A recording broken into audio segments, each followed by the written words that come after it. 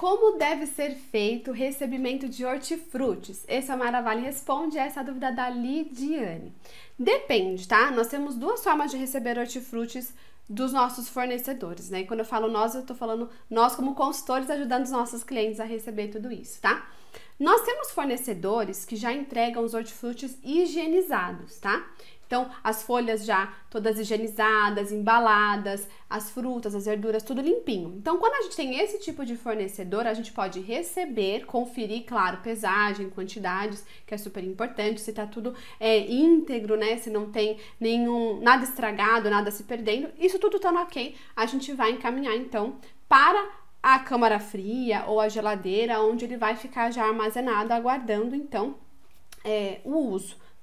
Claro que é importante, depois que tirar da embalagem, mesmo que já venha higienizado, conferir se tá tudo lavadinho mesmo, se não ficou nenhum resíduo, de repente fazer uma higienização rápida ali para poder preparar a salada, o que for para o cliente tá? Nós temos também os fornecedores que entregam o hortifruti sujo, tá? Então, nesse caso, a gente tem que ter mais atenção, por quê? Porque a gente não pode colocar essa mercadoria suja numa câmara fria limpa, numa geladeira limpa, por quê? Porque pode trazer contaminação para o próprio equipamento e para os alimentos que estão ali, tá? Então, para quem recebe os hortifrutis sujos, o ideal é, além de conferir tudo, ver pesagem, está tudo certinho, tudo próprio para consumo, é higienizar antes de armazenar ou ter um, é, um, um equipamento próprio para receber essa mercadoria suja. Tá? E aí, geralmente, a gente vai acondicionar mais embaixo, né? As caixas com tudo separadinho para não ter é, uma sujidade caindo sobre outros alimentos, tá?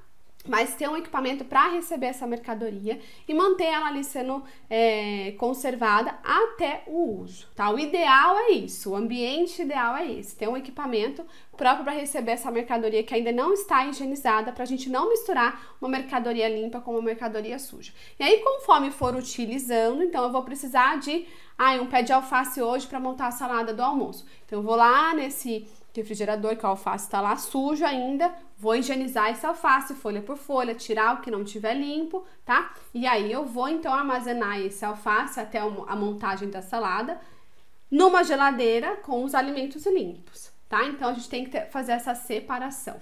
E tudo depende de como o seu cliente compra o hortifruti dele. Se ele compra limpo, a gente já pode é, é, armazenar numa geladeira, numa câmara fria, com alimentos limpos. Se ele compra sujo, a gente vai ter essa separação para não trazer essa sujidade, né? É, bichos, terra, para um refrigerador, uma, uma geladeira que já está limpa, que às vezes tem até outros alimentos ali, tá bom? Então só ter essa atenção, depende muito de como o seu cliente recebe. Para cada tipo de recebimento, a gente vai ter um cuidado específico, tá? Espero ter te ajudado. Se você gostou desse vídeo, deixa o seu like.